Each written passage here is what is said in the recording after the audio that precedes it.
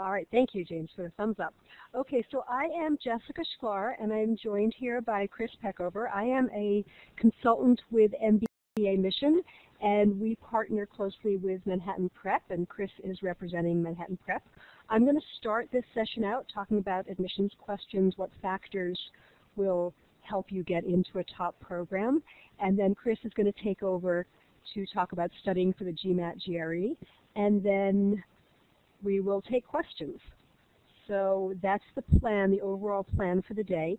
Um, Chris will introduce himself when he comes to his part. Let me take just a minute or two because you're going to be listening to me for a little while. You might as well know a little bit of my background. Um, I have been an admissions consultant now, this is my 10th season. So for an industry that's only about 14, 15 years old. That's um, I've been in it for a while. Um, but I didn't start out that way. I went to college at Harvard undergrad, and then eventually I moved out to LA and did some admissions work for a very small university. And because it was so small and no one had ever heard of it, um, I had to figure out a way to get in front of people. And that's really what shaped my experience because no one wanted to talk to me about the school. So instead I would give workshops on how to write application essays and how to figure out what school was right for you, how to clarify your values and your priorities. And that was just really my favorite part. I loved talking to people and helping them figure that out. Eventually I decided I should go to business school and I applied to Harvard, Stanford, Yale, Kellogg, and UCLA. I got into all five, which I don't tell you to boast, but because I think it gives me some credibility for the conversation we're about to have. Um, I went to HBS. I then worked in the corporate world. I was at uh, JP Morgan Chase. I was a senior quality leader, the quality leader at um, the mortgage division.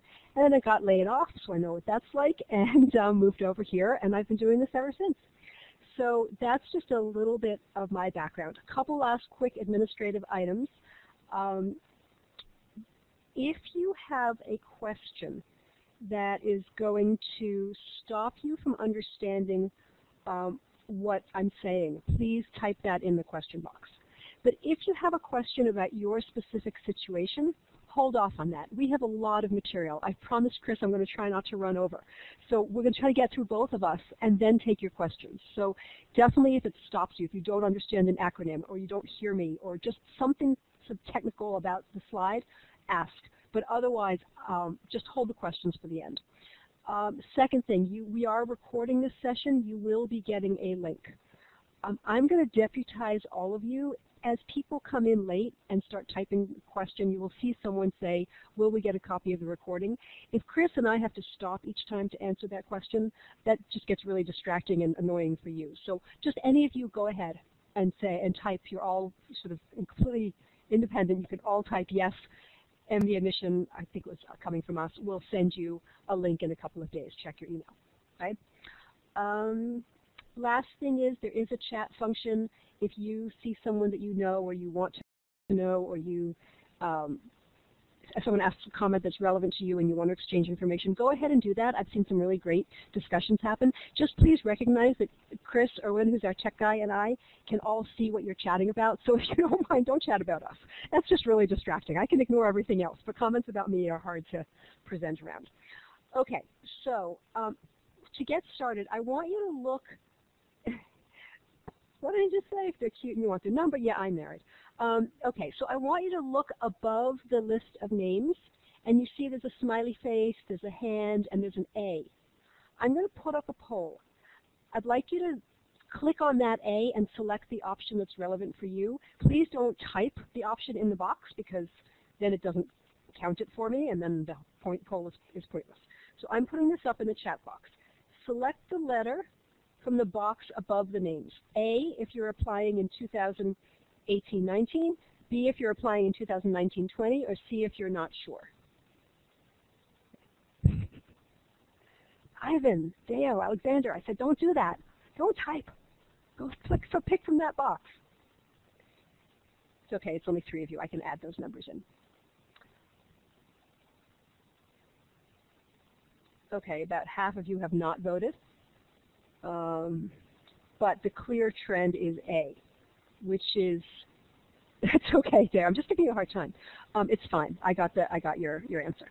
So um, that's good. This is actually going to be relevant for all of you. It is definitely relevant for the A folks because we're talking about some in, in here some essay writing and certainly for the GMAT, but it's actually really, really helpful for those of you in Category B applying in a year from now because you can get a lot done in the next year that's going to really make a difference in your applications. So um, it's good for all of you. And see, well, maybe we can influence you one way or the other. Okay, so let's get started. Uh, these are just the other presentations. Um, these uh, are the ones coming up. You do have to sign up for each separately. Each one will have an admissions officer and uh, an admissions consultant and someone from Manhattan Prep. So it's a nice combination of admissions work and GMAT work. And then the last one is really cool, the admissions director. It's just a chance to talk to them. So that's a great session always. This is what we're going to talk about today. Who are the admissions officers? Assessing your quantitative strengths, your qualitative strengths, going over a couple of quick case studies to see what we think of the various sessions, and then um, about mbaMission, we're going to hold the Q&A until after Chris goes. So I'll do a couple of slides here, and then I'll come back for Q&A, and, and he and I will both be here for that. Okay? All right, I think it's important to talk about who the admissions officers are because I know when I was applying, I didn't really think about them at all. I just, if I had thought about them I, at all, it would just have been as these sort of faceless, nameless people who were there judging me. And I, I never really stopped to think about the fact that they're human beings. Um, they are often graduates of your program, the program you're applying to. They're passionate about building school, about the school and a diverse class. We're going to talk a lot about this phrase, building a diverse class. It's probably one of the biggest points I hope you walk away with today. Um, not typically HR prof uh, uh, professionals and not experts in your specific career or industry. Why is that important? Someone, someone think about it. Why is it important that you keep in mind as you're working on your application that they do not know your career or industry? see Ali typing Amreen. Don't use jargon. Your essay shouldn't be too technical. Yes, and not Ali, not just your essay, but your resume too. That's where people tend to, even if they get that the essay shouldn't be technical, they tend to be very technical in the in the resume. It is not a professional resume. I'm talking specifically to you engineers and um, consultants and finance guys, although everybody falls into this trap. But they don't know the specifics of what you did. That's not, it's not like you're applying for a professional engineering job. They want to know the impact of what you did. So it's much less relevant to talk about the specific name of the program or the type of software than to talk about what you did, what you led, and how it worked, and, and what the impact was. Um, yes, so you do have to be articulate, no bias, exactly, we're going to talk about that, Jonathan, and um, yes, you have to be assessed on your well-rounded application, so yes. And they are generally nice. These are people who've chosen to go into a very people-oriented field. So are they all nice every minute of the day? Do they sometimes have bad days? Sure. But generally, these are people who chose to go into a job where they are marketing and smiling and connecting and trying to sell and trying to engage with people. They are very much people people. They're not your, you know, sit in a cubbyhole and build spreadsheets people. Okay? Let me give you some quotes from them so you can really understand that this is not just me talking. Amanda Carlson. The way we look at it, and I mean this from the bottom of my heart, is that when we bring people in, we really, really want to like them. So we're going to give them every shot to put their best foot forward. Dawna, who was the director of admissions at Dartmouth and is now the executive director of admissions at Darden, I feel personally that if someone has taken the time to complete our application, which is time consuming and can be expensive, people have the right to be heard. And then at Booth, we strive to be as transparent as possible. We work hard to be accessible. Because fit is so important, we try to eliminate any ambiguity about who we are and how to prepare to be successful here. It's fine if you have a question about your application to call the admissions office and ask. Don't do it so often that they recognize your voice. We've seen that happen and that's backfired. But if you really don't understand a question on the application or you have a you want to talk to a student who's been in a similar position as you, um, similar situation, or you want to get in touch with someone from the club, the admissions office is actually there to help. Their job is not to sit around and wait for the applications to come in, but to interact with you, to, to process everything until those, then their job changes and they analyze. So don't hesitate to call them or to email if you have a question, again, moderately. All right, what is the problem facing admissions officers? This is not a trick question. This should be pretty obvious. I'll give you some hints. The problem is related to the fact that at HBS, they have a class size of 942 and they get over 9,000 applications. At Stanford, 417 to over 8,000 applications. Anyone see what the main problem is? High volume of applications, yes, CJ, but compared to, that's the numerator, right? That's the denominator. The numerator is, right, too many ca excellent candidates and too few places, right? So there are too many spots. I'm sorry, there are too many applicants but too few spots. So the admissions officer's goal is to satisfy diverse stakeholders. There's that word again. I said I was going to talk about building a diverse class. Yes, exactly. Tammy, CJ, you got it. Um, they are trying, the admissions office, office represents all the different stakeholders at the university. The professors want to look out in the class and understand that people are getting it, that they don't see blank faces, that you can handle the work, that they find people they can engage with. Students, this is when we get to the diverse class. Raise your hand if you want to go to a business school that's made up entirely of classmates exactly like you. If any of you raise your hand, I'm going to give you a hard time. You know that, right? But if any of you want that, then raise your hand. Um, if you don't want that, I'm not going to ask you to raise your hand because that's everyone else, but you are looking to go meet people socially, professionally, um, study groups. You want diverse viewpoints. Um, the alumni, they do not want to see you on the front page of the Wall Street Journal as having had some ethical breach. They have a vested interest in the brand of their school being very high. This is a big one. When we get to the career essay, we're going to talk about this. Recruiters want to see people who can do something, can add value at their company on day one, even if it's a career change. And if you come to our presentation on essay writing, we'll really drill into the career essay. You can also, by the way, download from our website the free, it's called the Personal Statement Guide if someone wants to go to our website and pull up the link. But it's about a 30-page essay on how to write the career essay, the personal statement, so that the admissions officers understand how you will satisfy the recruiters. They will recognize uh, the value you bring. And then the dean is the overall steward. They care about the brand of the school. So here's what the admissions officers are going to look at.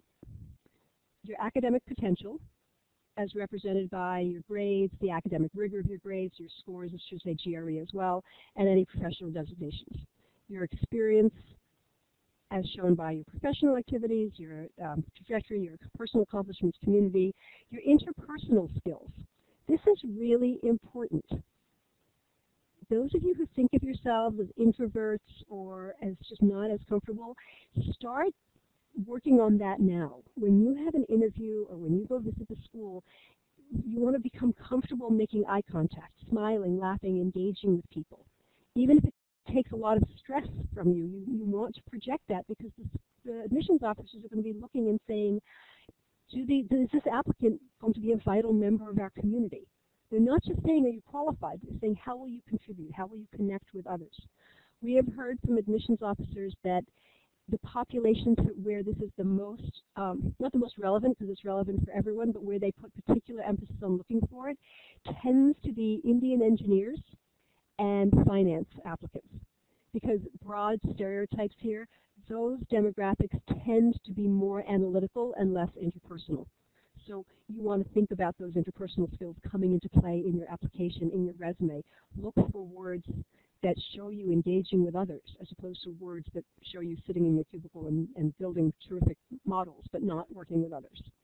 And then mutual fit, which we'll talk about at the end. The schools really want to know that you have researched and understood this program. I did a DING review for someone the other day who had a 770 GMAT and terrific GPA and really great um, trajectory uh, professionally and absolutely stunning recommendations.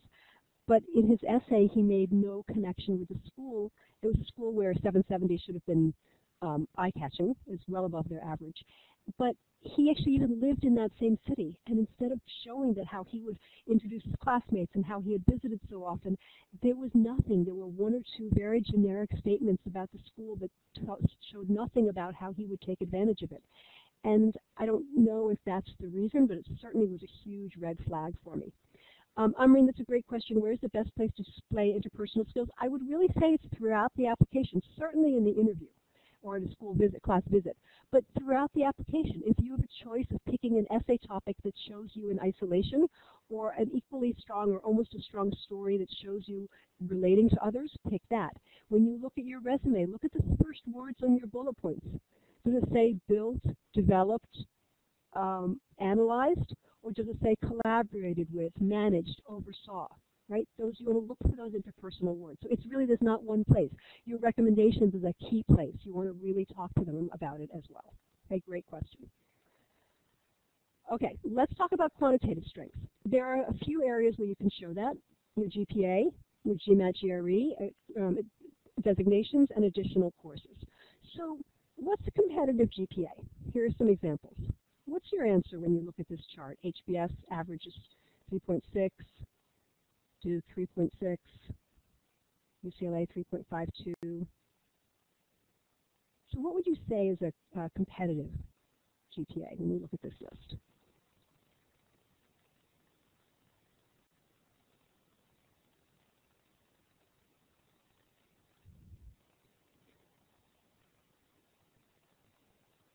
3.5, 3.6.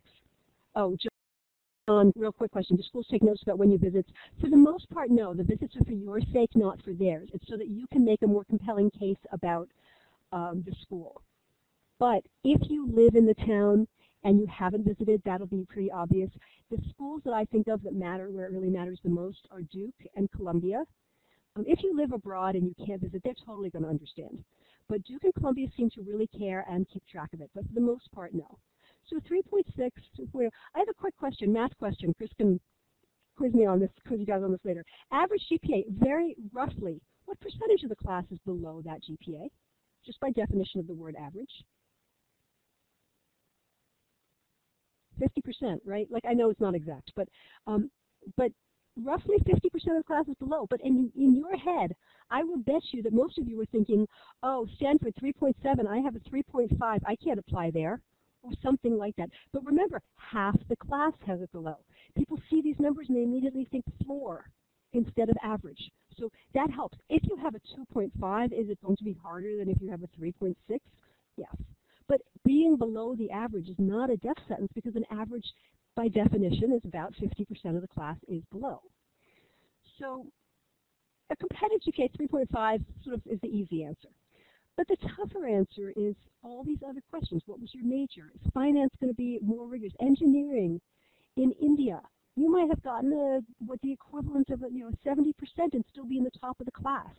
Right? There's the grading scale. Did you work? Yes, that makes a difference. If you were putting yourself through school and working 25, 30 hours a week, don't say, oh, well, it wasn't a professional job. I was just waiting tables. They won't care. Flip that and say, I put myself through school and paid 60% of my tuition and worked 25 hours a week and still managed to pull a 3.3. That's pretty impressive. Right? The school will see what you tell them. So if you don't tell them that, they'll say 3.3. If you tell them that you worked, then it becomes like a part of your story. Okay? Look at how you took it, did in quant classes. Um, look how you did, did you do uh, upward trajectory. Class rank is really important, and I will say especially for those of you um, from other countries where the grading may not really equate to a 4.0 and also where you don't have the same kind of grade inflation we often have, make sure the schools know comparatively how you did. It's very different to say 3.2 than to say 3.2 parentheses top 10%, right? Imagine how much easier that is for the admissions officer to now understand how smart you are oh, 3.2 is top 10%. That's pretty good. That's a rigorous major in school, right? You've just taken care of several questions that they probably are not going to look up. So make sure you share that information. Think about it from their perspective. They, just like they're not experts in your industry, they don't know your specific school in your year and your major and what that grading will equate to, what that 3.2 could equate to.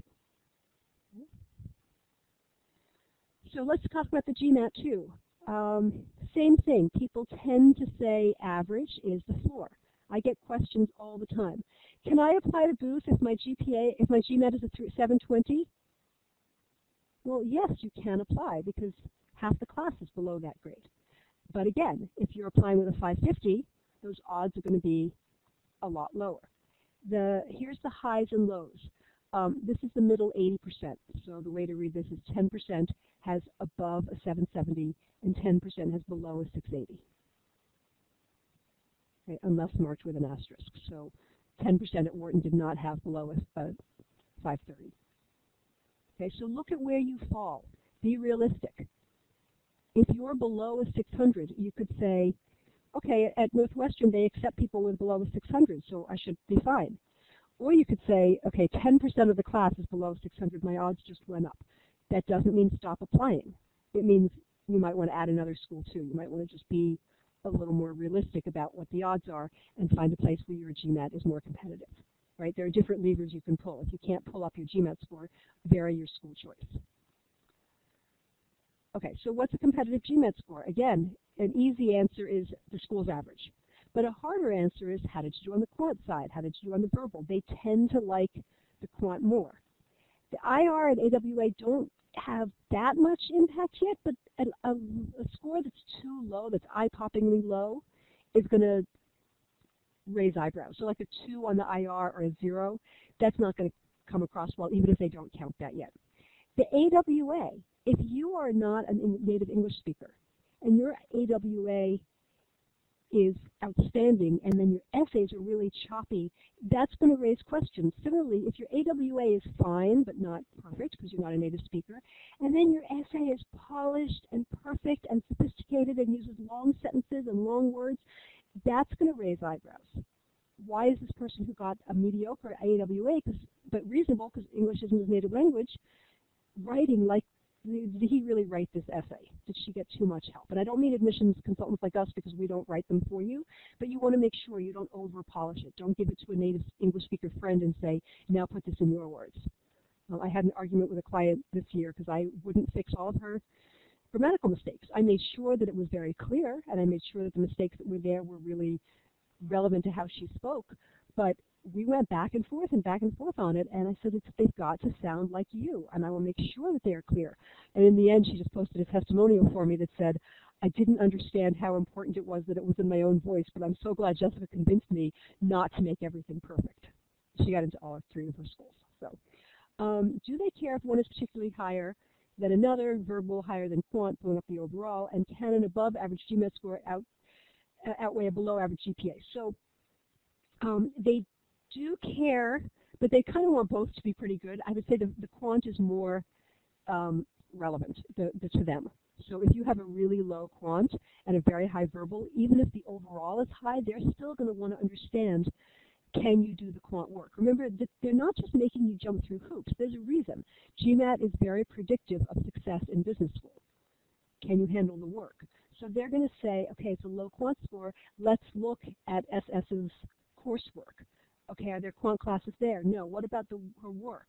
No. Well, I don't have any evidence that she can do the work. So it's going to raise questions that you can answer, take additional classes, pull up that score. We'll talk about switching to the GRE. But so it, they do look at the whole picture, right? The overall and the subscores. Um, do they look at take into sorry can an out, uh, the average score outweigh a below average? If you were in school a really long time ago, the GMAT will have more relevance. Um, if you were in school just a couple of years ago and you did really badly, then yes, the GMAT score is still going to be high, but it's kind of harder to say, I was immature, oh yeah, it was just two years ago, right? So yes, it can. Um, there are two factors here, right? One is the school's average. They want to keep those averages high. So by accepting you with a low GPA, but a high GMAT, you might be pulling up their GMAT, but they have to say, are we willing to risk, do we think that CJ, add, uh, sorry, Ali adds enough to our class to risk pulling down our GPA? The other factor is, can you do the work? So look at that. Look at that's where the overall score comes in. That's where the, the trajectory comes in. If you didn't do well your first couple of years of school and then you did better later, um, but you were pre-med, so I would, Ali, just write the optional essay and say, I'd like to explain my GPA. Um, the pre-med classes at my school were particularly difficult, and I struggled with, specifically with chemistry, which you know half the class got below a whatever. Um, I really, once I shifted to my business career, I've done quite well, and I'd like you to look at the GMAT as better evidence, more recent evidence that I can do the work. Essentially, that's it. You offer an explanation, not an excuse, and then you pivot and showcase um, how you can do better. A couple last quick questions, and I want to keep, oh, getting into smart as CJ. Course load and GPA, yes, they will definitely take that into consideration. And CJ and Dan, what about job position and work experience? Can work experience outweigh a slightly lower GPA? Dan, it shows something different, right? So it's not that it outweighs it, it's that they may say Dan's experience at this consulting firm offers enough else to the class that we're willing to overlook the slightly lower GPA, the, the, the it puts on our average, that it pulls down our average. So it, it's not like a one-to-one, -one, it's just the overall picture, right? How are we willing to say, yeah, it's not the best score, but look how much more he brings. The more overrepresented you are, the more, you know, white male consultant, white male finance guy, male Indian engineer, the more they can pick from applicants who don't have that question mark. So it puts a little more weight on the quality of that experience. But absolutely, I have seen people get in with lower GPAs, and you said slightly lower. So look for the good story in your GPA, the high you know, trajectory, positive trajectory, the tough classes. Get the high GMAT, and then you know you can't do much about it. There's a lot to worry about in this process, so you can't control what your undergrad GPA was, so don't worry about it at this point. Right? Just do everything you can to focus going forward. Okay? And Amy, I'm going to talk about that um, in about two slides. Okay. What about the GRE? Um, do they take the GRE seriously? Here's Dee Leopold. She was director of admissions at Harvard for like 30 years. Here you go. We view these tests equally and have no preference. I cannot think of a snappier way to say it. Uh, Yale. We wouldn't accept the test if it was going to disadvantage people to take it. We give it the same weight. They want to build a diverse class. One way to build a diverse class is to take people who might have taken the GRE because they thought they were getting a master's in history. It removes one, and then they decided to go to business school. It removes a barrier if they now don't have to retake a test. They can just submit with the GRE. Um, there's one other big advantage to taking the GRE. Does anyone know what it is?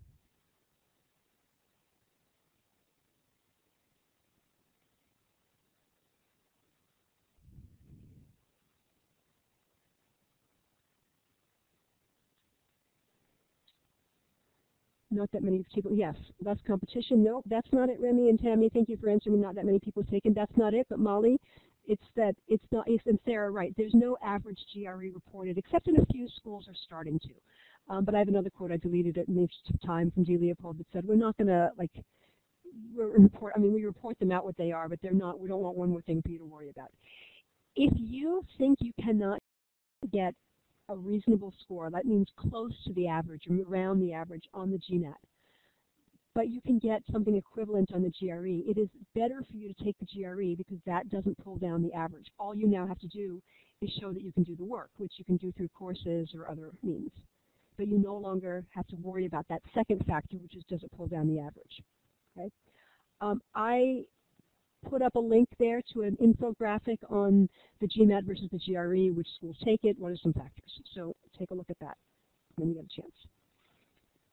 If you don't want to click on the link now, just go to our website and click on um, resources. And it's, it's an infographic right there. So here, oh, I didn't cut it out. Here's um, Dee Leopold. We intentionally don't give guidance. We um, don't want applicants another test to worry about. And this is the GRE, maybe your path. Um, you, Daniela, what if you want to take the GRE instead of the GMAT for no specific reason? Do you have to explain why? No, you really don't. You just take the test.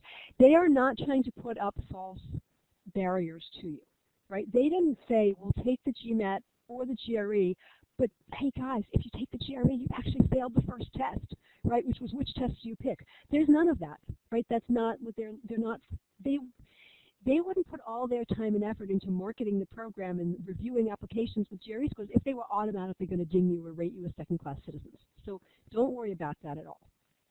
Okay? All right, I got to keep moving, guys. Um, academic potential. Um, there are other ways to prove it. Here are some other courses, you, you can, certifications you can take. Here is additional courses. If you have a choice, take economics, calculus, statistics, accounting, and finance. Um, I mean, this was to your question. Another option, but I would say it's in addition, not instead of, is mbamath.com, which is put together by a Tuck professor. It's 11 modules of math you need to know to start an MBA, and at least I know Tuck and Cornell use that as the math boot camp for students they accept who need a little refresher on math. And so I actually had a client accepted with a 610 GMAT to Cornell because he brought his transcripts from MBA math and said, look, I passed all these with 100%. And the admissions officer actually said to him, if we were to accept you, we would require you to pass these before you started school. So the fact that you've already done that means we'll accept, It means that we know you can do the work. And uh, he got in with a scholarship actually. So I would say that's in additional. Yes, you provide transcripts. Um, you can take these at any college or you could take them online through a university, Berkeley, NYU. Uh, there are some self-paced classes. HBX Core is another good one, but it's expensive and takes a lot of time. Um, but it's it's a four-course credential of readiness through HBS. So those of you who are in that B category applying a year from now, you might want to think about HBX Core. All right. When should you take additional classes? Um, Coursera is fine, Saba. I've had people take that too. I've actually heard that it's more rigorous than some other ones. When should you take additional courses? Poor academic record, bad quant grades, or strong transcript, or no quant evidence, right? That's when you could take an additional class. Okay, we're about to move into the next section. Going to play Jeopardy. GPA plus GMAT plus GRE scores and courses equals what? What does that show them? Sense that you can handle the program. Okay? So the answer is 70%. What is the question? Think about these slides back to back. Okay? This gives you a quantitative sense that you can handle the program, and the answer is 70%. Any guesses?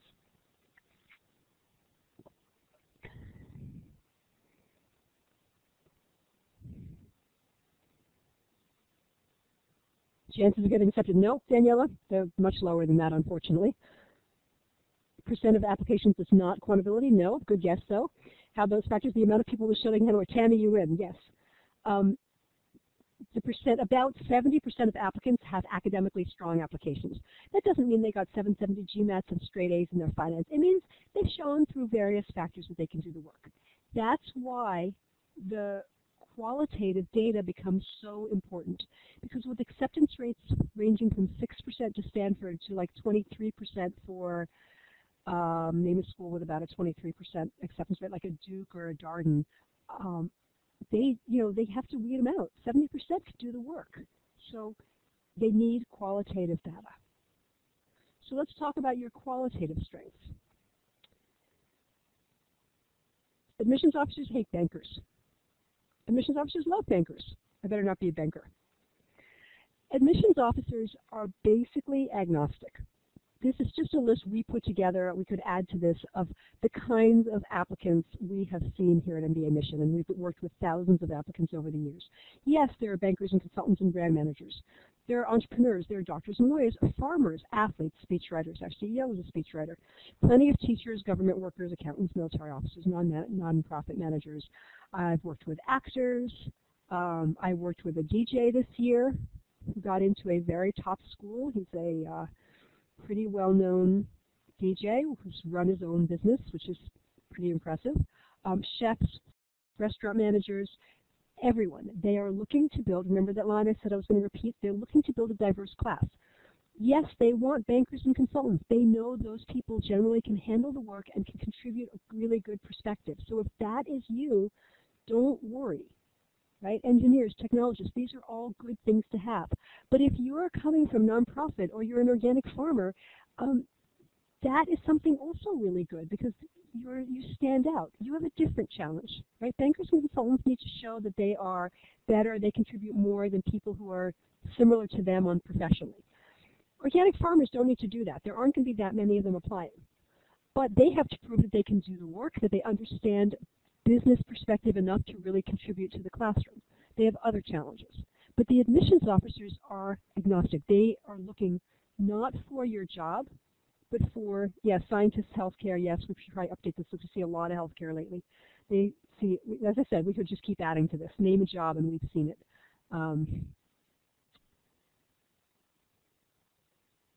so they're looking for impact. This shows up on your resume, where I hope you aren't download our resume guide, by the way. We'll talk about this more, but don't just list what you did. Directed staff in creating advertising campaign.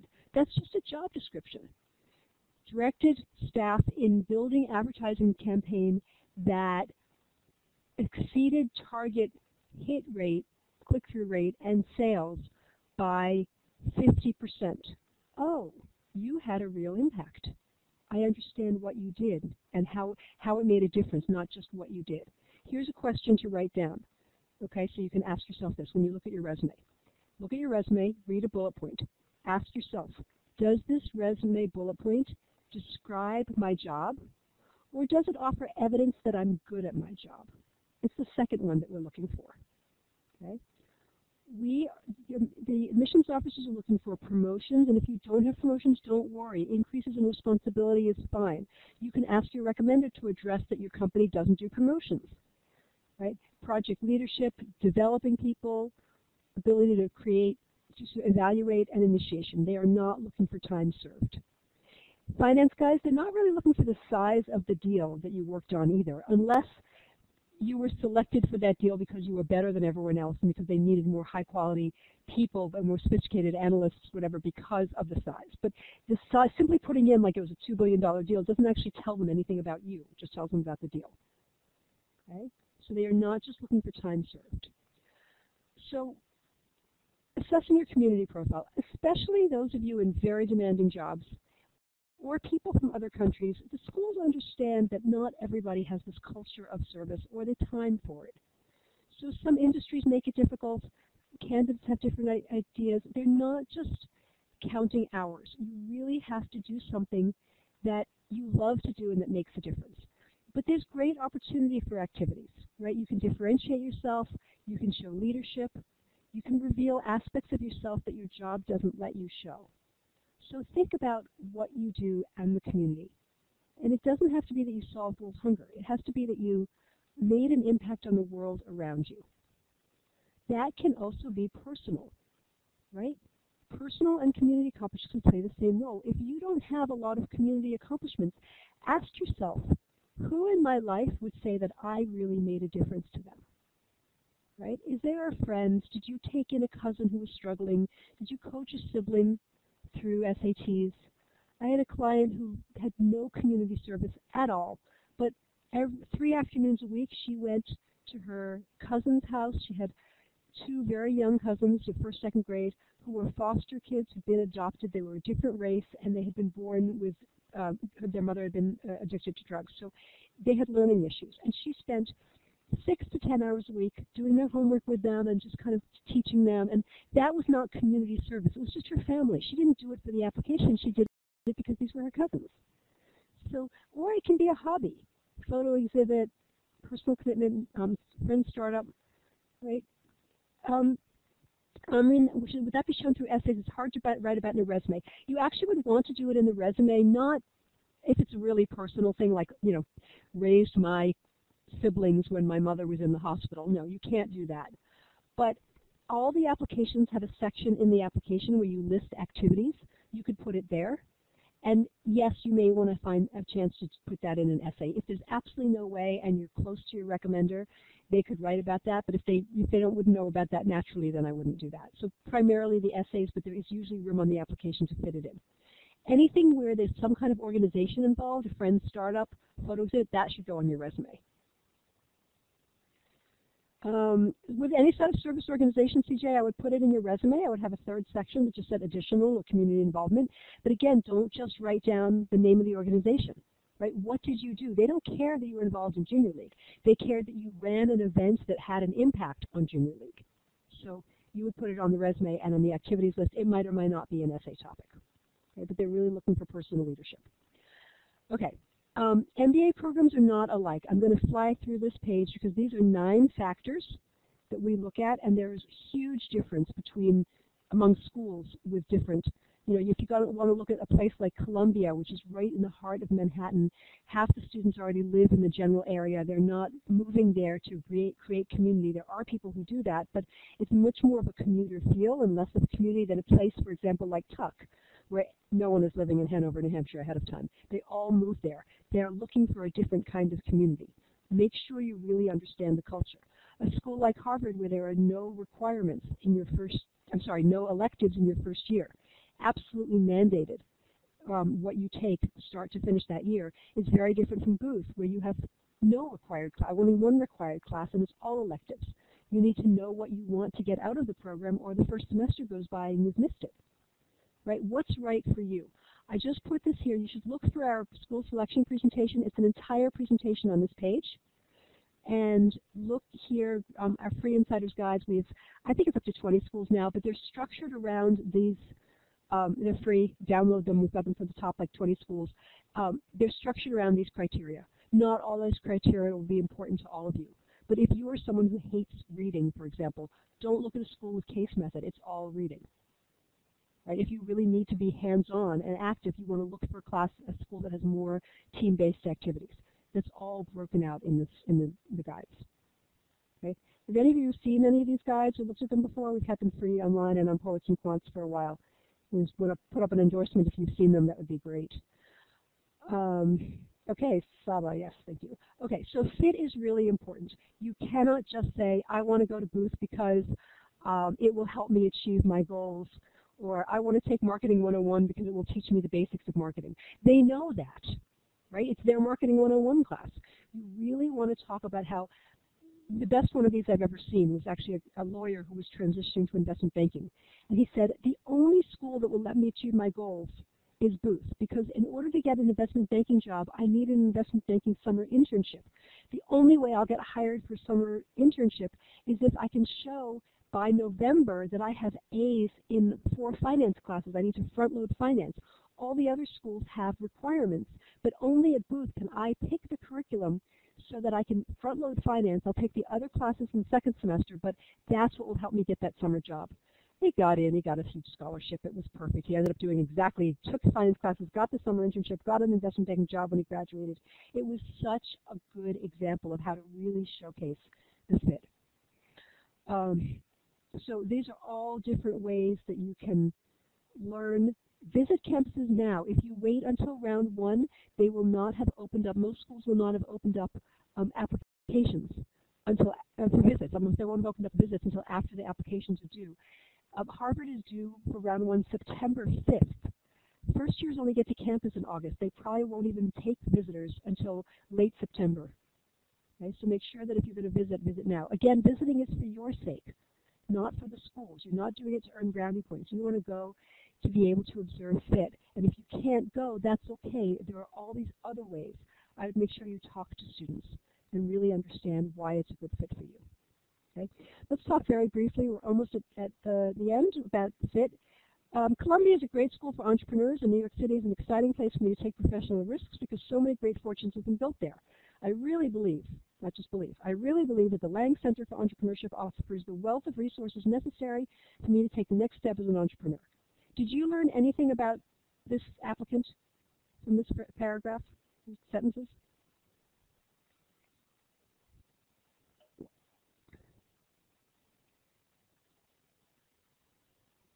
No, exactly, Tammy. Thank you. Not really. Okay. As an aspiring entrepreneur in the online education field, I know that flexibility will be crucial to my success and that I will need to constantly challenge my assumptions. For this reason, I would seize the opportunity to participate in the entrepreneurial sounding board process by scheduling a session with Russell Sarder, whose vast experience in online education will lead to an invaluable critique of my idea. Therefore, I would help take my refined concept to the Lang Center's incubator. If you're Columbia, do you see how much more this, how compelling this is? This guy has, or applicant, has done his or her research, understands what, how to take advantage of what Columbia offers, and is still teaching us that he's willing to, he or she is willing to take critiques, that they're open to ideas, that they want to be challenged. We're learning about the applicants, much more thought out. Okay? Let's go through just real super quick case studies. We have here a hypothetical applicant who has a terrific GPA, terrific, terrific, terrific GMAT, fine academic ability, other took some classes, great professional activities, um, activities beyond professional, really good goals that can be achieved, but they don't really express a fit with the program, and the application is kind of sloppy. What do you think is the overall fit, uh, uh, strength of this person's candidacy? We have sun, clouds, or neutral.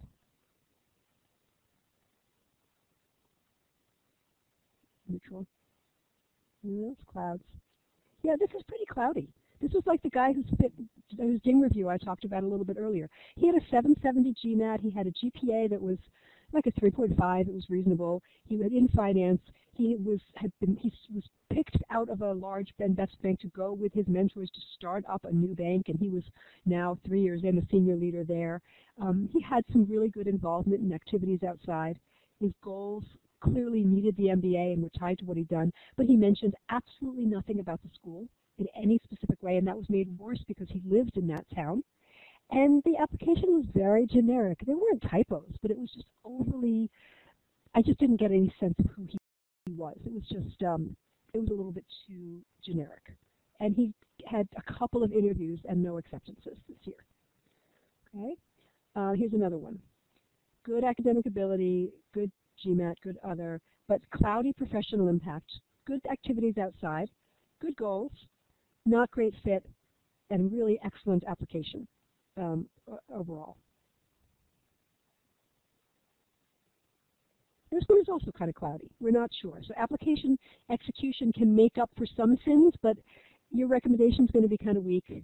Um, I had a, a, client this year with a 750 GMAT and a 3.8 GPA, but he wasn't that good at his job. Like his job was very, was an auditor, it was just very it didn't fit with his personality. And his recommenders really liked him, but they couldn't say that he was a superstar. And he had some good activities outside, not stellar, but good. And um, he ended up applying to 17 schools. And he got into several with full scholarships, but he didn't get into the top ones. And I think that that was just really like, we did a lot with what we had, but there was just only so much we could do. Right? I don't, do not recommend applying to 17 schools, by the way. Um, okay, last one At the shaky academics, but good GMAT. No need for academics, haven't taken anything else. Good activities, good um, professional, good goals, good fit, and good execution. This is a star candidate. Academic ability can be overcome with everything else. This was, um, Dan, I think it was your question earlier. Okay? If everything is strong, the GPA can't be terrible, terrible, terrible, like a 2.2. That's going to be a problem. But you know, you want to really show that everything else is very strong. Okay, I'm going to just very quickly talk about us for two minutes and then turn this over to Chris, and then we'll take questions at the end.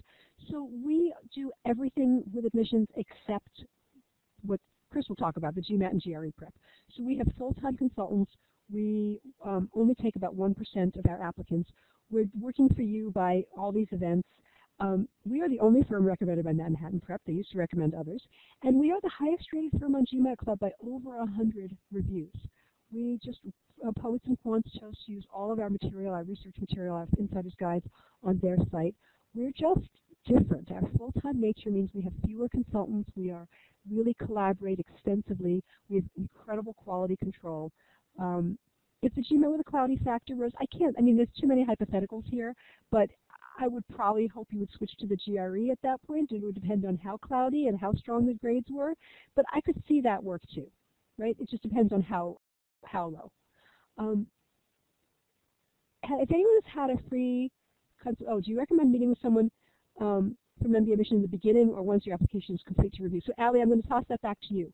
If you send us an application and you've put months of work into it and you think it's ready to go and you ask someone just to do a quick polish and look at it and we look at it and say, this is a bad topic.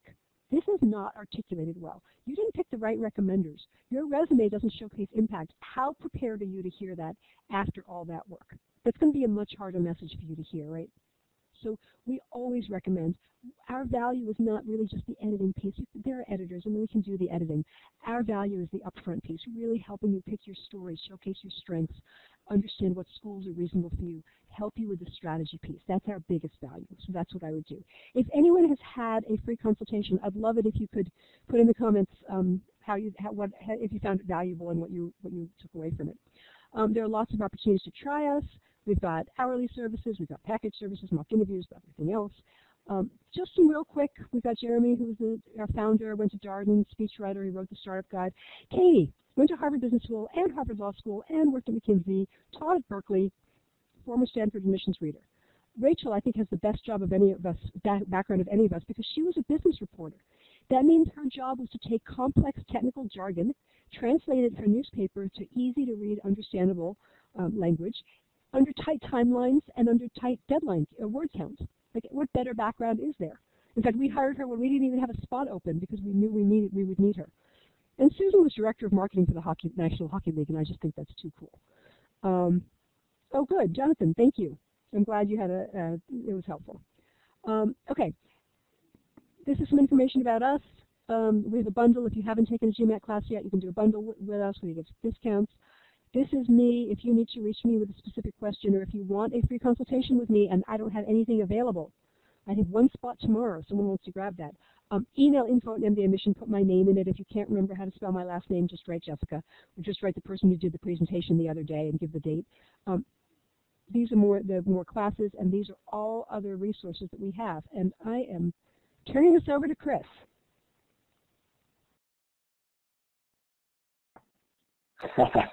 Thanks, Jessica. That was awesome. Um, hey guys, so uh, I put a picture up in case you guys want to see what I look like. Though I will admit, um, I'm not quite this thin anymore. So, um, nice to meet you guys. Uh, can you guys hear me okay? Let me know in chat. I can't tell you how often I'll be talking to myself for a minute. All right. Thank you guys so much. So uh, you guys just got a, a, really, really awesome big overview of, of the application process um, from Jessica. Um, let me let me give you guys a little bit of an introduction uh, about myself because we're going to be talking about the GMAT now for about 30 minutes. And um, actually, you know what? I'm gonna I'm gonna hop on video and wave at you guys so you can see I don't quite look like that anymore. You guys can private chat about which which picture is better. Um, so I've been teaching with Manhattan since 2011, and um, Manhattan's interesting. They don't hire their teachers based on just who who has been teaching the most or who um, who wants to be a teacher. They actually have been grabbing us from uh, all over. Like, for instance, I I never went to business school. Um, I saw uh, online that they were looking for teachers who get 99th percentile. And weirdly, um, my year, there were over 700 people who applied to become teachers with Manhattan who had all gotten 99th percentile scores on the GMAT or higher. That's a 760 or higher. I think my year, they, they chose three of us.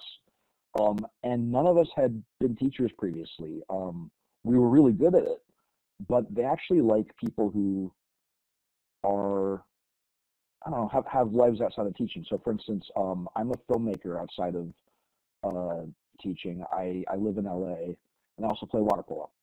Um, so why do they teach or why do they take teachers kind of with really bizarre, diverse backgrounds? Um, because we tend, tend, tend to make classes a lot more fun, I would say, um, than people who are just straight up teachers. So I'm going to skip this because uh, Jessica actually already covered um, a little bit about the differences. I want to talk about, listen, if all you took from this talk right now is how to study for the GMAT better, um, I, I would feel pretty good. So let's, let's talk a little bit about the strategy for how to, listen, you get, the GMAT is a tough test. Um, and there's, there's, there's a couple things that I want you guys to keep in mind um, when when studying for it. Um, I have a question for you guys. What do you think um, these tests really are designed to test? Type in chat. What what is it that these are designed to to test with you guys? I mean, it says decision making, critical thinking, using resources. I'm liking all these. A few, give me a few more answers if you haven't answered yet. Time management, analytical problem solving. This is good. Um, I want to dive into a scenario. So, um, congratulations, guys. You are now an investment uh, investor, like an angel investor, and you have a bunch of money to invest. So the scenario is a startup walks into your door and asks for you to invest $120,000 into their uh, business venture. What do you do? Now, remember, don't type in chat what your answer is. pull in using that uh, little box in the participants window. It says A on it. If you pull pull down on it, it'll give you, um, I believe, let's make it A through E. So you'll see A through E. Let me know what you would do. They're asking for $120,000. You have lots of money. You're new at this.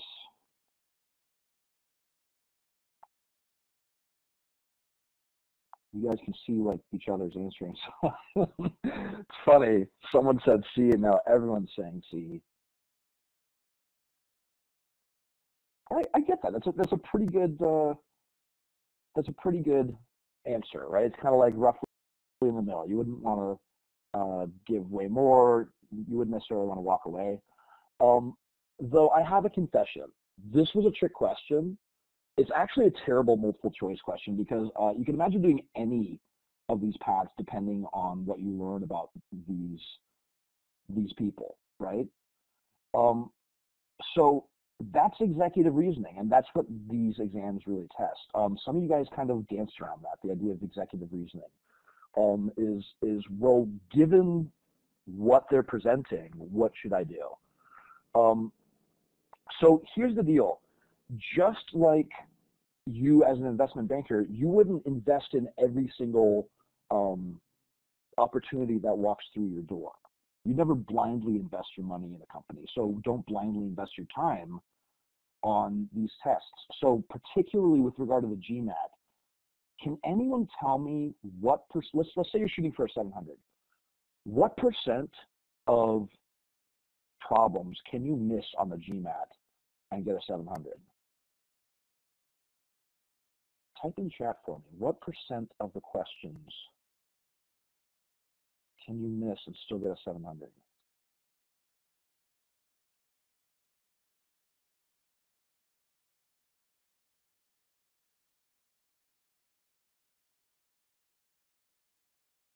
These are pretty good answers. Um, the answer is you're going to miss a little less than half, so somewhere between 40 and 50% of your problems. So you don't need a perfect score, um, and you don't have to get everything right.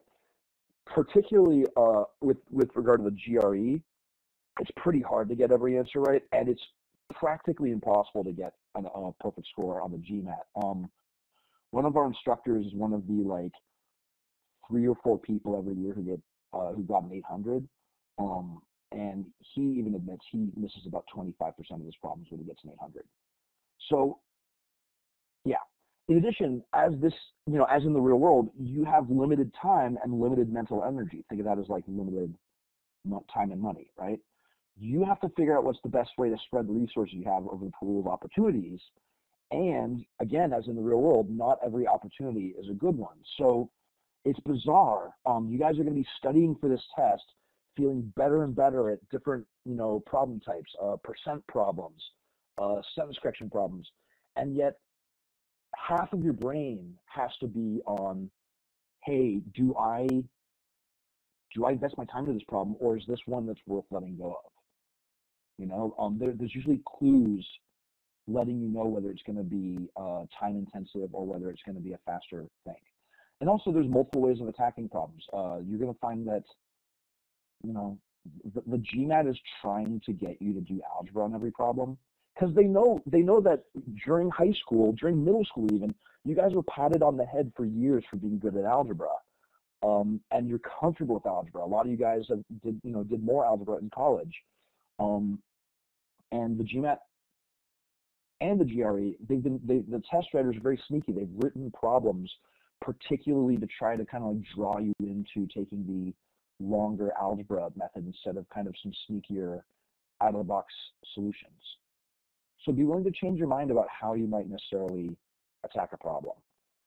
Um, there's one other thing I want to mention briefly, and then we're actually going to do a problem together, and we're going to talk about what's the best way to study for this test, because it's kind of different than other tests that you guys have studied for.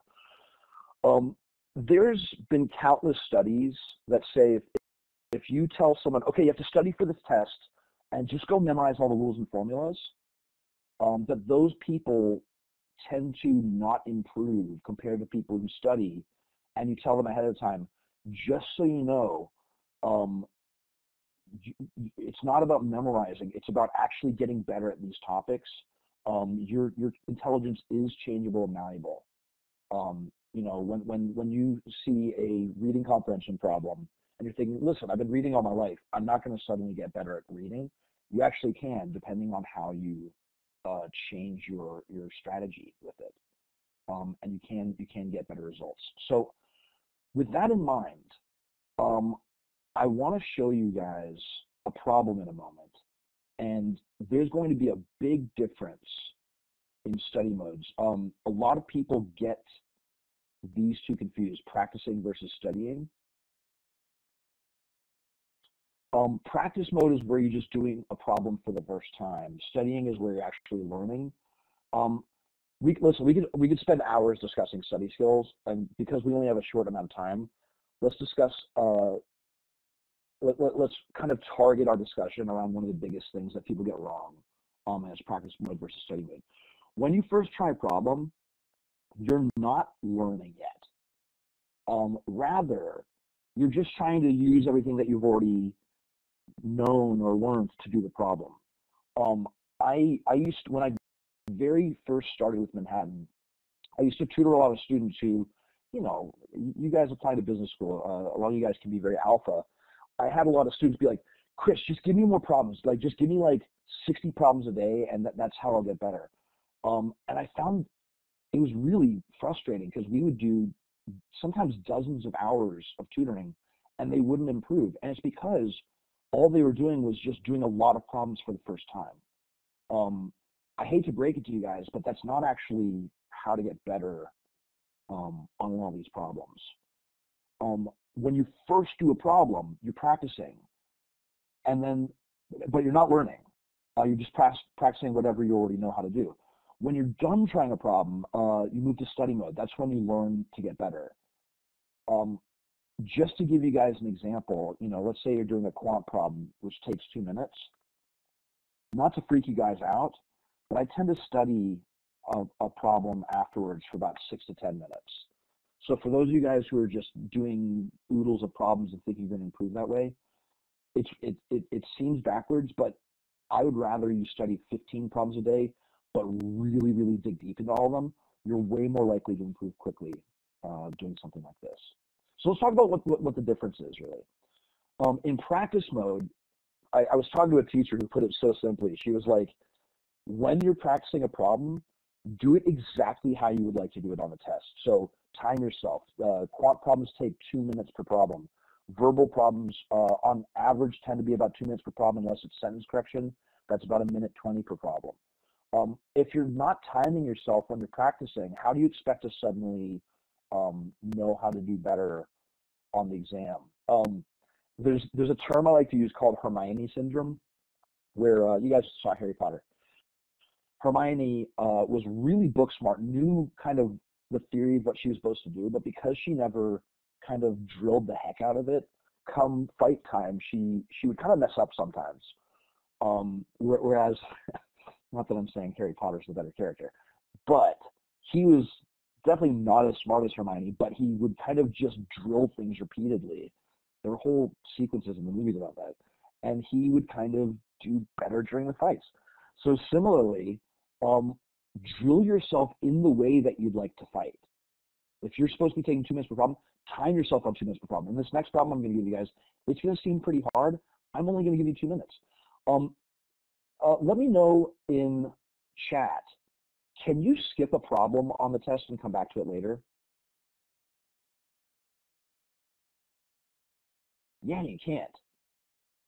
The test doesn't know what problem to give you next, at least in the GMAT since it's uh, adapting to you. The test doesn't know how to give you another problem until it knows whether you got the last one right or wrong. So you have to guess if you're going to move on. If you don't know how to do a problem, you need to answer. So similarly, when I give you guys this problem in a second, at the end of two minutes, if you haven't put in an answer, it's a fail because you weren't practicing the way you would have on the test. Um, and also make the decision you want to make on the real thing. So if, if you're practicing just doing algebra every time, knowing that you could have done another way, but whatever, you know, um, then come test day, you're going to be doing it algebraic way every time. So practice the way you'd like to be doing during the test.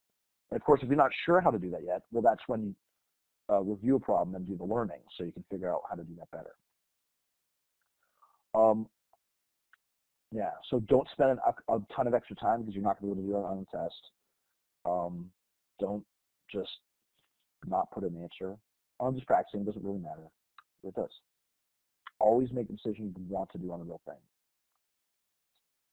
Okay, so after you've done the problem, you know, I for verbal, I say for verbal, I take about three to five minutes to review, and like I said, for quant, it's more like six to ten. Um, it ends up that every problem I do, um, in reviewing, you know, I, I, it's funny, I don't even look up the right answer when I do a problem uh, for the first time. I actually say, okay, now that I've got all the time in the world, do I like how I did this? Um, was there another way to do it? If I used algebra, was there kind of like another GMAT strategy could, I could have used? Um, if I if I used some out of the box thinking, how could I have done this algebraically? I kind of compare which ways work better for me. Um, it's yeah, it's it, there's sorry you cat lovers, but there's always more than one way to skin a cat on these problems. Um, I also before I look up what the right answer was, so I don't kind of bias myself, I say, hey, how would I have guessed? Same with verbal. Um, we're going to talk about redoing problems and, and reviewing problems in a moment. Let's actually try a real problem here. I'm going to put two minutes on the clock. Again, don't uh, type your answer in chat, pull it in. Let's see how we do on this, and let's let's discuss afterwards kind of different ways we could have attacked it. All right, two minutes, go.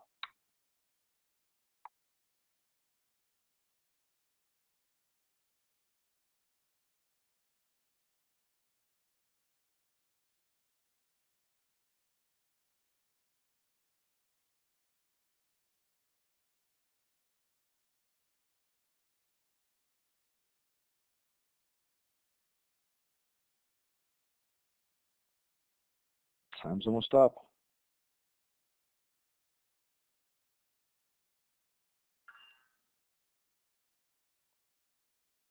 All right, if you didn't get an answer and give me a guess.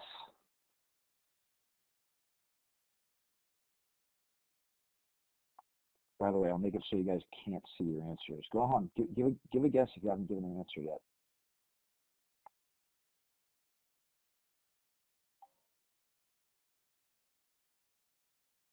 Cool. Let me know in chat. Um,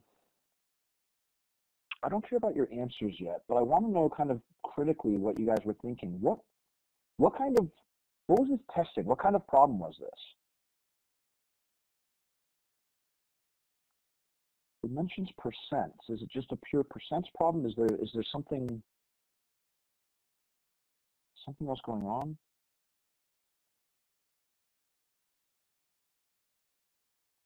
How can you tell it's a weighted average? Simultaneous equations, percents, weighted averages. So for those of you guys who are saying it's weighted, how do you know it's weighted?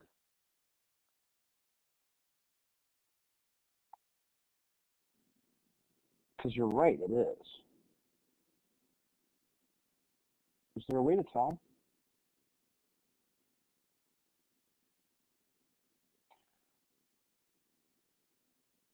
Yeah, Amreen, I really like that.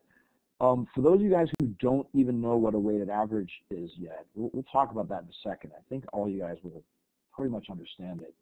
But as soon as I see that it's a mixture problem, I go, oh, it's weighted averages. And you know what? I have a go-to thing that I do with these. Um, I'll show you guys how to do this algebraically, but again, the GMAT wants you to do algebra. Um, let's talk about what to do it's a weighted average. The idea of a weighted average is it's a mixture. We've got some, you know, there's 300 grams of X and Y. There's some amount on this side, there's some amount on this side, and the idea is to figure out how much there is of each. Can anybody tell me um, if it was all X, so they, they say the, the we have 38 grams of protein, right, based on 10% of protein from X, 15% of protein from Y. Let's just do something really easy here. If all, if, if this was actually not a mixture, it was just all X, how many grams of protein would we have?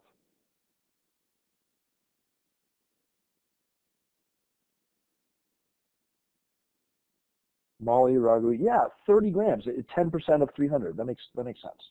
Um, and then, so let me say 30 grams. What about uh, what about Y? Yeah, you guys, we're just taking 10% of 300, and if it were all Y, it'd be 15% of 300. 15% of 300 is 45. You guys are right. But it's not 30, and it's not 45, it's 38. So can anybody tell me if there were equal amounts of X and Y, if, if, if this weren't some, you know, if they hadn't told us 38, if I just said, yeah, there's exactly the same amount of X as there is of Y, can anyone tell me what, uh, how many grams of protein we would have had?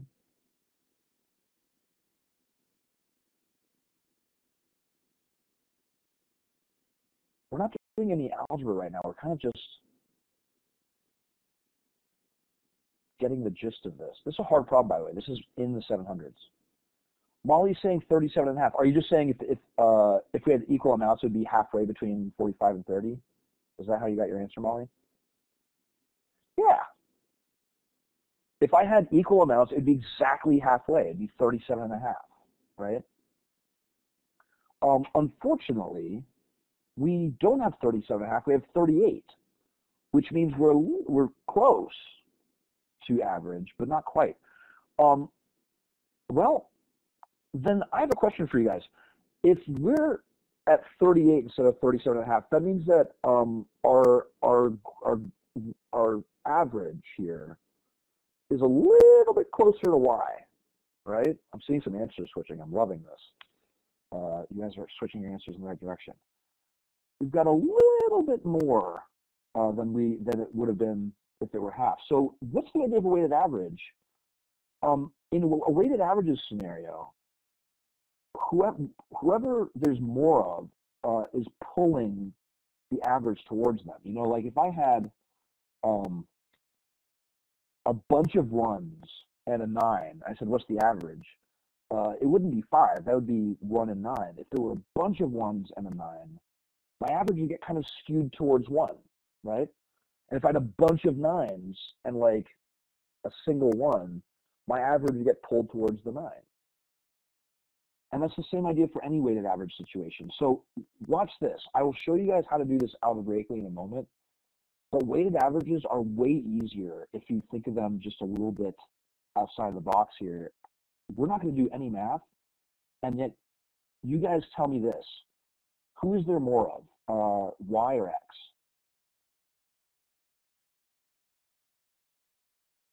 If it had been equal amounts, it would have been 37 and a half. But it's not, it's 38. So we're a little bit closer to 45. We're seven away from 45. We're eight away from 30. Well, if we're a little bit closer to Y, then there must be a little bit more of Y. And if there were equal amounts, it would have been 150, 150. So without doing any math, I don't need to these these answers are always written so that um, very rarely will you actually have to do proper algebraic math to get to these answers. I'm going to say like 80% of problems you can do conceptually. So you guys are telling me there's a little bit more of y, which means there's a little bit less of x. And for those of you guys who answered B, you got the right answer.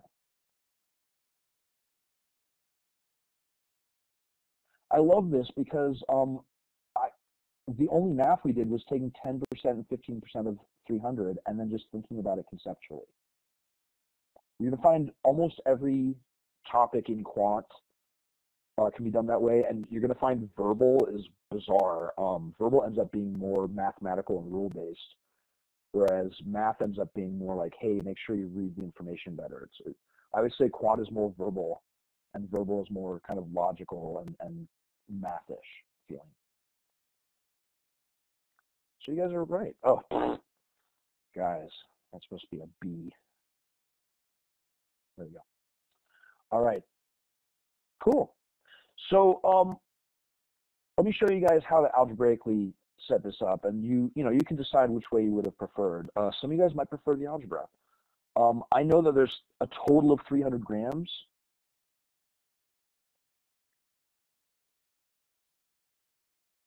So I know that uh, the, the two, you know, x and y add up to 300.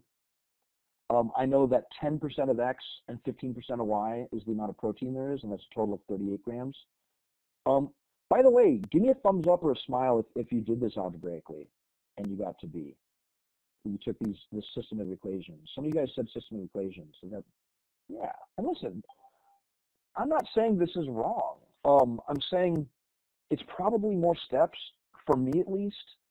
It's yeah, exactly. So Molly, I, I feel like you're probably in the majority fan camp where a lot of people start setting up for algebra, but you're going to find that like it's just more steps or it, it's more accident prone. Listen, I get a 780. I'm I'm not teaching down to you guys at all. I'm not saying, well, you guys are probably not as accomplished, so this is how I would do it.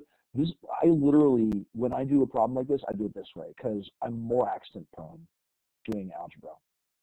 That being said, um, well, we'll talk about how to do a system of equations quickly. Uh, I use something called the elimination method where I get rid of one variable uh, by adding or subtracting the two equations. I'm noticing that this 10% of x and 15% of y, if I multiply that by 10, um, I've got x plus 1.5 y equals this times 10, so 380. Um, and I can subtract these two equations. If I subtract the uh, x plus y equals 300 from the top one, I'm left with half of y is 80, which I think you guys are beginning to see where we get from there. y equals 160. And if I plug that into the first equation, I get x equals 140. So again, B. Listen, it's good to, to study both ways. And by the way, we're in study mode right now. Notice um, how we're kind of taking longer than that original two minutes. Uh, you guys might say, actually, Chris, I prefer this method. A lot of you guys might say, no, this was easier for me. I, I feel like it's easy to just say, well, if it were all, all x, what would it be? For all y, what would it be? Uh, who's closer to the average? Because whoever's closer, there's more of them. In this case, it was a little bit more, so I knew it was going to be more 140, 160, and not all the way on the outskirts here. So listen, executive reasoning. Um, if you looked at this problem and said, you know what, um, I'm a minute in and I'm not quite sure what to do, if you wanted to guess and move on a minute in, that's a smart move.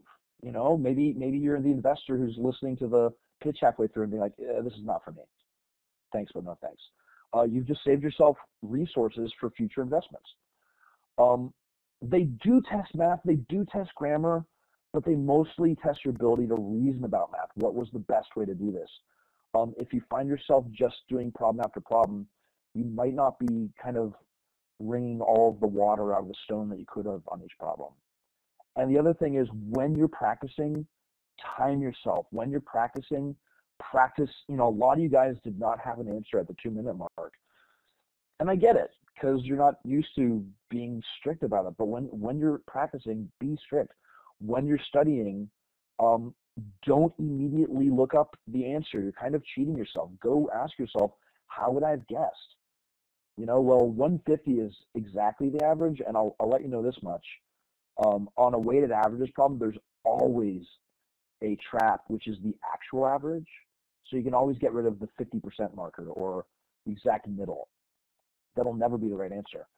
Um, and then another guessing strategy that I really love, unfortunately, there's two sets of them here. I call them evil twins. If you've got two answers that add up to the big number in the problem, one of them is probably the right answer, and one of them is the evil twin, the one, the, the, the one that, you know, notice how easy it could have been to, to answer 160 if you got your variables mixed up. They love these on percent problems, on fraction problems, all, all the fraction, decimal, and percent problems. They love uh, creating a, an evil twin answer. So if I see two answers that add up to something important feeling, one of them's probably right and the other one's probably evil. Unfortunately, there's two sets of them here, so it doesn't really help. But you see lots of problems where there's only one set of twins. So if I were guessing and I had a 50-50 shot, that's pretty awesome, especially if I'm a minute in and I'm like, you know what, I need to let go of this problem because I'm not sure how to do it. Oh, but I'm noticing a set of evil twins. you just eliminated three out of the four wrong answers. That's pretty fantastic. Cool. Distinguish between practice and study mode. Listen, guys, um, what one of my favorite things about working from Manhattan is how easy they make it. Uh, we have a free practice exam that if you go to uh, manhattanprep.com, uh, actually I'll type it in chat. Um, if you if you go to manhattanprep.com, we have a free like no no credit card, no anything GMAT. We also have a free GRE. Go take the test. Go see where you are. Um, Jessica was really clear about kind of like how it's smart to visit campuses early. It's also smart, especially for those of you guys wanting to uh, go to school in the fall. Know where you are now because it, the GMAT is unfortunately a test where everyone is studying for months, sometimes up to a year, um, to to get the highest score they possibly can. You guys are, you know, you're going to business school. You're in a very competitive field, um, and you're competing against all these other competitive type A personalities. Know what your score is now, so that you know whether you know. Oh, I, will be able to study for a month or two on my own, or oof, I need help. Um, let me, you know, let me see what resources there are out there. Um, another thing that I love about Manhattan is not only are, are is uh, do we have a test on the site that's free, but also out of our nine sessions, you can always sit in on our first class for free. Um, and again, no credit card required. All you do have to do is just sign up, um, create an account and sign up. So Manhattan Prep right there. Um, like I said, we have a free practice exam, same website. It's all it's all going to be on the homepage. And also, um, for those of you guys who are considering taking a class, um, it they they run nine weeks. It's three hours per week. Um, and Manhattan's uh, just create a code for you guys to save hundred bucks if you if you want to sign up for a GMAT or a GRE course. And I think Jessica already showed this slide, but if you guys are considering doing a bundle, um, we're kind of pretty discounting things.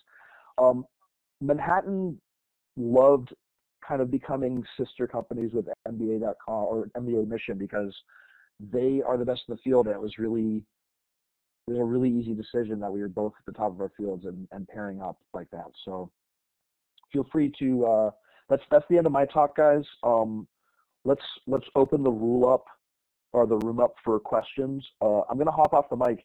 If anybody, actually, Jessica, if you have anything else you'd like to say, uh, please do so. And then uh, we'll we'll open up the mic for any questions, or you guys can chat your questions if you like as well. I have nothing else um, to say. I'm going to, is it okay with, with you, Chris, if I move off this slide and go to one that has a bunch of our links on it as well? Yeah, of course, let's do it. Okay. Um, it's not this one, okay. Um, okay, so I'm going to take questions. Chris, I don't know. I know I ran over, so I promised you didn't have to stay as long, but we can both take questions. Just let us know who it's for. I mean, we'll figure it out if it's a GMAT question. But go ahead and type the question, and one of us will grab the mic and answer it.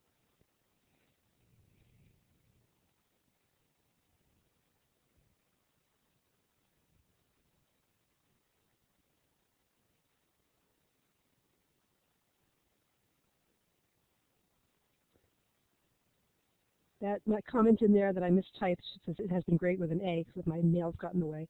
Yeah, I was talking about the partnership with Manhattan GMAT. We really, Manhattan Prep now, we really have had a great relationship with them. They, um, they are the best, the best, best, best in the business by a long shot, and we think we are too. So it's been a really nice partnership. There's just a very strong meeting of minds in terms of standards of excellence, and I think it's not always so easy to find, and we've really enjoyed that everyone is just amazing. Like I sit here and I listen to Chris and I'm like, this is incredible. Why didn't I know this when I took the GMAT? Um, I just want to learn. Not enough to take a class, but um, Amreen, do years of experience play a role? I've been told I'm too young for business school. So there is a bias towards younger applicants, especially at the top schools. But I would say there was a slide I put up earlier that said um, it's not about number of hours in community service or time served, it's about the impact. The same applies to work. If you have, in a couple of years, done some really impactful, interesting work and shown leadership and really made a difference, the age is not relevant. If in two years you just haven't done much, then yeah, I would wait a couple years. So I think it really depends. The flip side, because someone is going to say, I'm 32, am I too old for business school?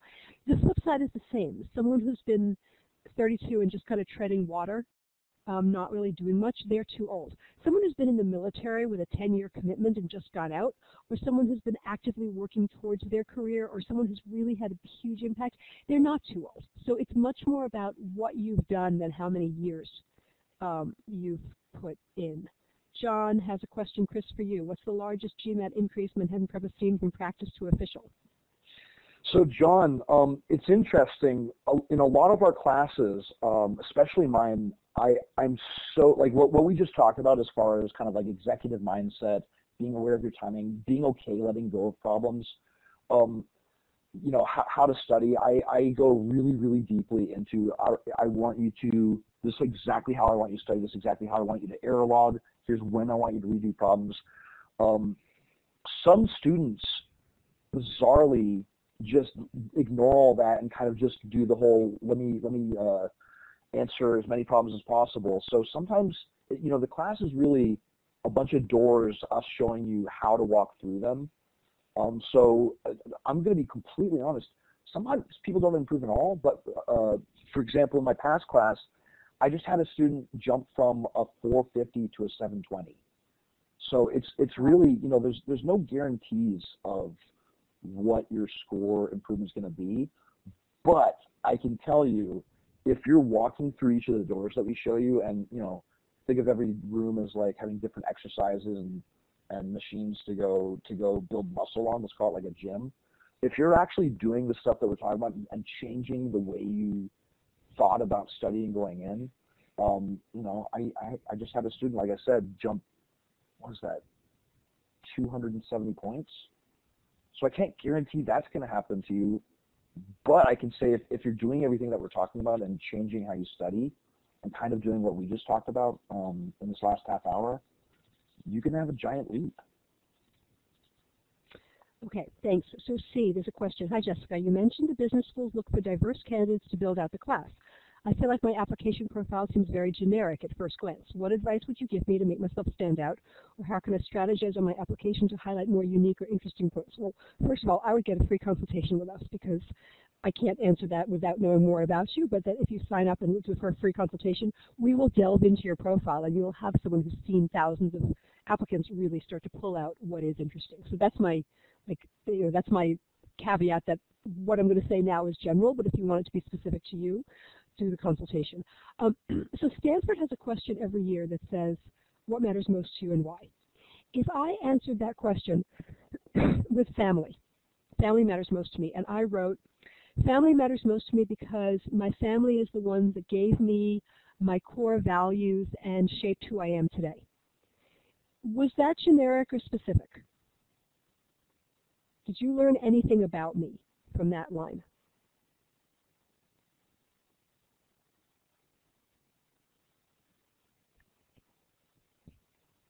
Anyone? Anyone? Anyone? Generic. Thank you, C. Yes, it was very generic.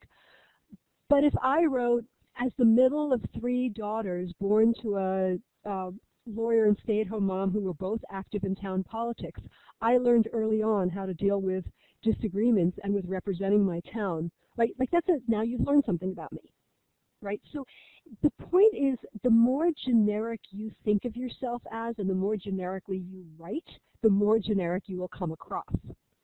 But everybody's story is different. I could say family matters most to me, and you could say family matters most to me, and if we both wrote that generic sentence, those would sound like we were um, completely interchangeable candidates.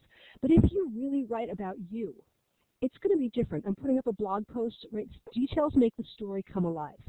You want to really try to understand the details that make you you. What is your contribution? Maybe you are a white male in finance and you feel like that's generic. Well, first of all, one reason it's generic and sort of common and overrepresented is because you guys do really well in business school and they want a lot of you. So don't like dismiss that. Um, but then think about, well, have you been promoted? Why? Well, maybe it's because you, yes, you have the technical skills, but you also are really great at mentoring. And maybe you've mentored outside of work. Maybe you're the oldest of a couple of siblings, and you never really thought about the fact that, yeah, you also do that with your group of friends. You remember a, a friend who was really struggling, and you spent every night on the phone for weeks. And suddenly, you're not writing about you building models. You're writing about, hey, in three different aspects of my life, I really mentor and coach and help people. So that's a lot of what we do. When I answered Alex's question earlier about when to meet with us, when we work with ca candidates, we have them fill out a brainstorming document that's, this is not for the consultation, but for our package clients, that could be 20 pages. We ask for five to seven hours of prep work on your part, and then we read those, and what we're doing is looking for connections, looking for stories, trying to find things. And one of the testimonials I saw recently said, I thought that there were things that I thought were just standard and boring, and my consultant made me see that those were actually shaped my perspective in a different way. So that's my answer is you are a unique person and the more you go because by definition right everybody is different. Everyone has a different perspective different experiences. So the deeper you dig into the details of your story the less generic you will be.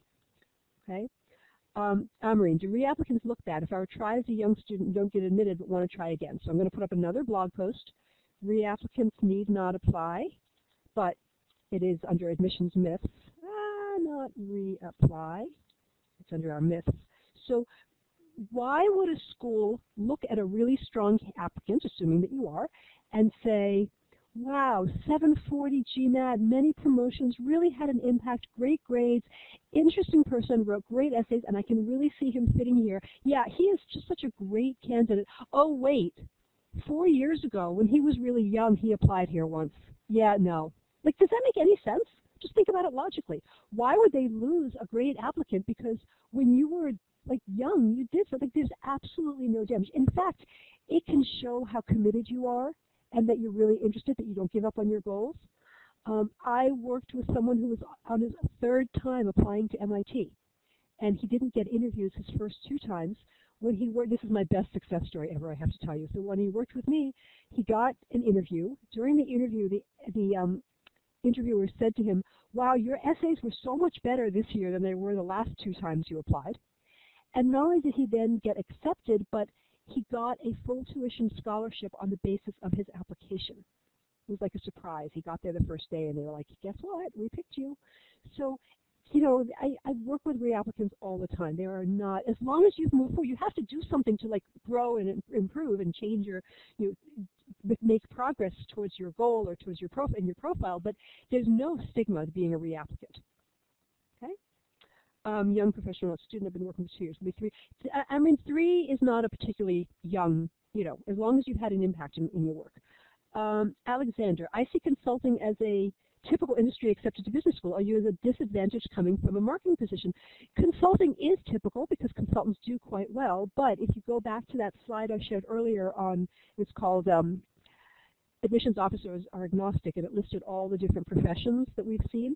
Marketing is way up there. Like they really like marketing because it's a business oriented field. It tends to also be a very interpersonal field and a creative one and it's different, right? Like they love building a diverse class. So I've had no, so from you know marketing is great because you're different right? Now consulting is great because you're qualified usually. So everyone has strengths and weaknesses, but there's absolutely no risk, Alexander, to being for marketing. It's, if anything, it just sort of makes you stand out a little bit more for that first pass through.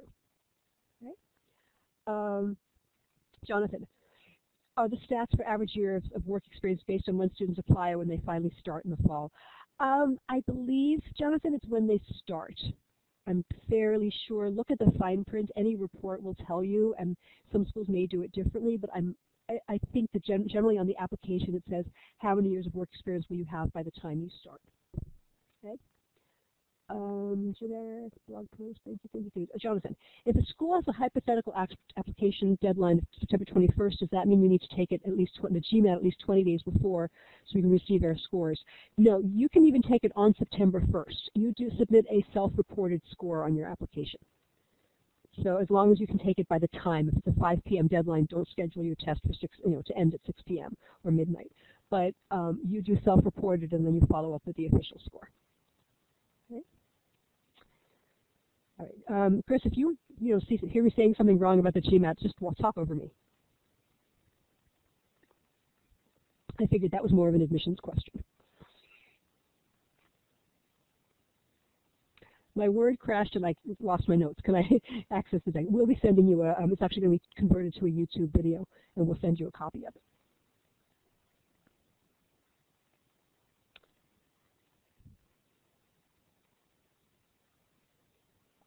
And I would also say um, download our um, start to finish guide. It's a, like a Bible. It should be on your desk at all times, or, you know, bookmarked on your um, computer. It's everything. I mean, it's a start to finish guide to the application. So a lot of what I've talked about is in there as well. So obviously it's not with my dynamic elegance and it doesn't have um, Chris, but it's got a lot of the substance. Jessica, I, I missed it. Did you already answer Jonathan's last question there? Jonathan's last question about, oh, yeah, about the deadline. Yes, I did. I said that it's usually self-reported, and then they send me a score afterwards. They could take it on September 1st. Exactly.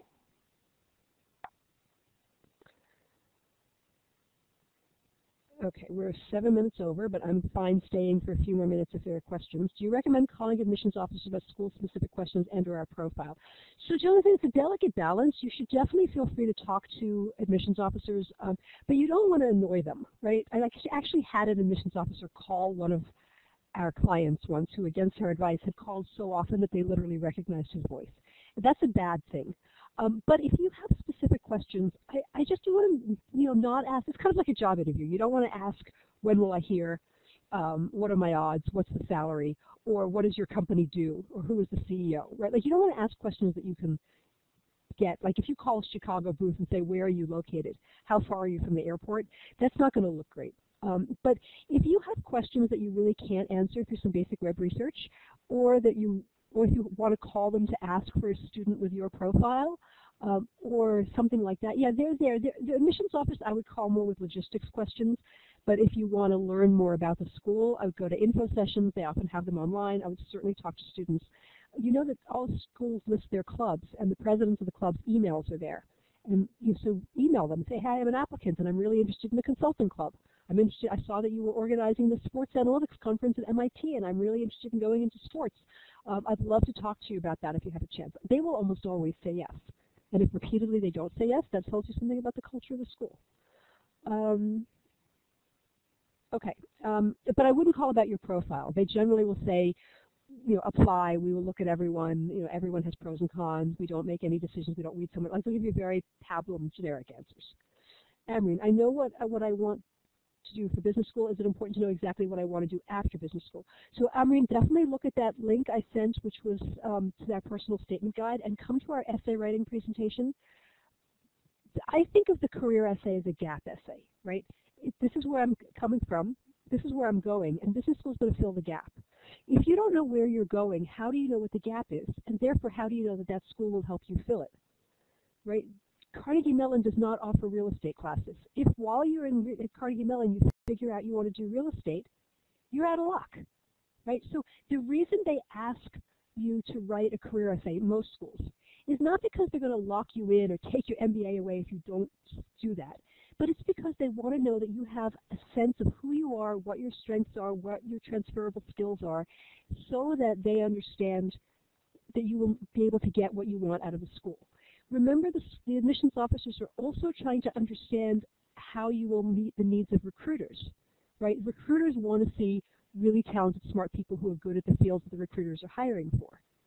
So you really want to think about the career essay this way. If you were in an interview in your second year for your ideal job, and the interviewer said to you, Amreen, this is a completely different field for you. We're willing to give you the sub subject matter, we're, we're willing to train you, but how will you add value on day one?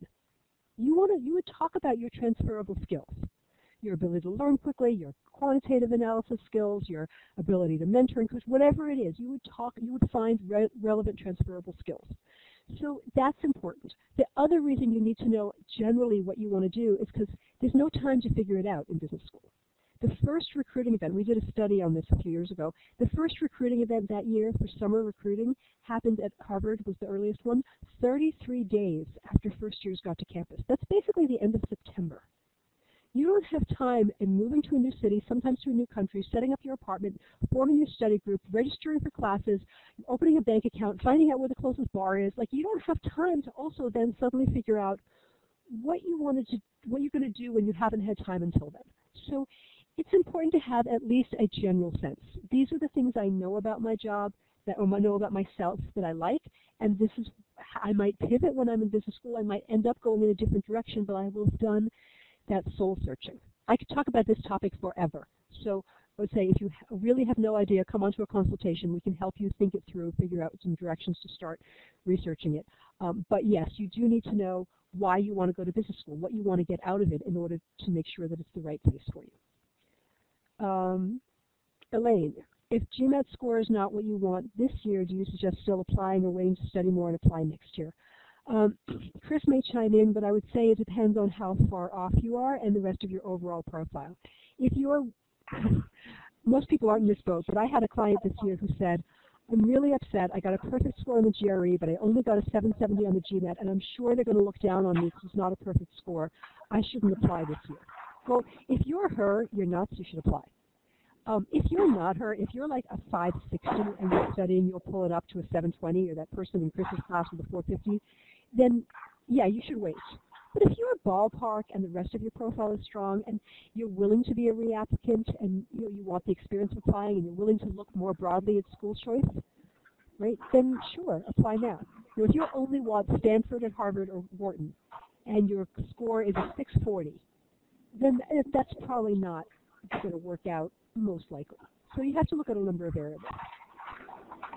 Yeah, I, I was just going to add to that. Um, and actually, Jessica, let me know if this is generally what you think, but I've, I've heard repeatedly that the GMAT, it's only 30% of your application, and I do know that it's one of the more important 30% because it's kind of like, unless you're in a certain window, they're just, you know, going to cut you off. But like, Elaine, if, if, if you've been studying for a while and you feel like you're beginning to plateau and you don't quite have the score that you want, it, it might be worth taking a look at the rest of your application and seeing where else you can beef things up and still applying. Meanwhile, like Jessica said, if, if you're like, I know I have so much further to improve and I can and you know, I, I know I'm capable of that. I know I can get, you know, like 70 points more or 100 points more. Um, then yeah, it might it might be smarter to apply next year when you know that you have a way stronger, uh, you know, total application. But the GMAT is not by any means uh, a majority rule on whether you're getting, getting into school or not. Yeah, I wouldn't put a 30% number. I just I don't know that that's true. It might be, but um, but I would certainly agree with the overall comment. Um, T. Dahlstrom is um, Um, I signed up for Thursday, but might miss it. Is there a way to view it? As long as you're signed up, you will be sent a copy of the recording. So yes, you will get that. It might take a couple days. Check your email, but you will get that. Saba, for gaps in work experience, do you need to explain it if in the optional essay if it's about three months or less. The general rule of thumb is less than three months, no. More than three months, yes. But the no has an asterisk, which is if there's an interesting story there, then yeah, you might want to tell that. There's no problem with writing the optional essay. Right? The optional essay is this question on all applications that says, is there anything else you want to tell us? That's your chance to put yourself in the mind of the admissions officer and say, if I were looking at SAB's application, I would have a question about X, and then answer it right? So I often get this question like, I had an F my freshman year. Do you think they're going to notice? Will I call attention to it? Well, it's their job to notice. So you might as well say, hey, I'd like to address the F in my freshman year. I had trouble adjusting to a large school from my very small high school, uh, and I really struggled. However, once I figured out how to study and really adjusted well to school, I continued to excel. I would like the committee to look at my 3.4 average for the rest of my, high, my college career as evidence that that was an aberration. So in terms of a three-month gap, if you did something interesting with that three months or less than three months, then yeah, I would uh, definitely write that. If it wasn't that interesting, you were studying for the GMAT or you were looking for a job and it was less than three months, that's really not going to show. That's not a big deal. But if it's more than three months, you definitely want to write about it. And there's no problem. I had a client who took a six-month gap, traveled around Asia, and soul searched to figure out what he wanted to do with his life, and came back realizing that he wanted to do exactly what he'd been doing before. And at first he was like, this is terrible. Like I look like I did nothing and no growth. But in fact, when we talked about it, he had gone into investment banking to satisfy his parents. And he wasn't happy. When he took six months off and figured out what it was he really wanted to do, he realized that he wanted to do investment banking for him. And that was his maturity, and we wrote about sort of his his growing up and growing apart and making decisions for himself that happened to be the same ones, but he didn't feel a need to rebel about that. So it was actually a really beautiful essay. Uh, it didn't on the surface look like anything much had happened, but internally there had been a lot of growth. So um, that would be my answer. Have you ever noticed that I don't actually give like one word or one sentence answers? um, thank you, Chris. Uh, anything else? We are about 15 minutes over. I don't want to keep you um, I really urge you to sign up for a consultation. Any of my colleagues are great, so just fill out the form there. But if you want to talk to me, just put my name on the form. I really encourage you to take a free class at Manhattan Prep. They're terrific. Um, they also do, they have they use this kind of platform for online classes, and you can see how well that works, so it doesn't only have to be in your city. Um, it's a really great option. I think they have classes, Chris, correct me, at all times of day and night, certainly on weekends. So if you're not in the U.S., don't feel like that's going to hamper you. Chris is in L.A. I'm here in Philadelphia. Um, we have instructors. We, they have instructors everywhere. We have coaches, consultants everywhere. Um, I have this direct. Jonathan, just write the info at, and then I'll write back to you. Okay. Um, yeah, you do. I was looking up Chris for someone else recently. And I was like, wow, they have a lot of classes. Jonathan, just it, it, we're a pretty small office. If you put info at mbaMission and then just put for Jessica, they won't even open it. They'll just forward it straight to me.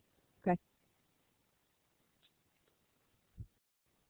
Oh, I actually had one other thing to say, um, real quick, uh, because we we have online classes and we also have in-person classes. And if you're in a major city where you're considering in-person, um, listen, if if you want face-to-face time with an instructor and you know that's what's going to be helpful for you.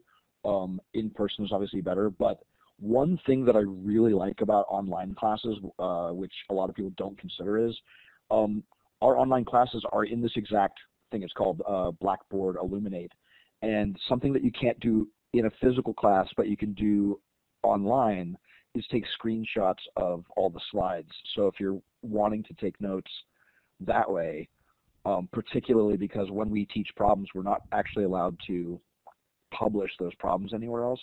Um, taking screenshots is kind of like a wickedly smart way to take a class. So don't uh, don't poo-poo online classes, uh, if for nothing else, just that reason.